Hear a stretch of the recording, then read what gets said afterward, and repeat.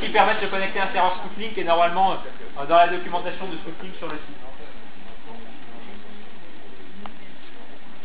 Et d'autres serveurs, donc il y, a, y, a, énormément de serveurs IRC. On peut citer par exemple le Ethernet et euh, la, les, les gros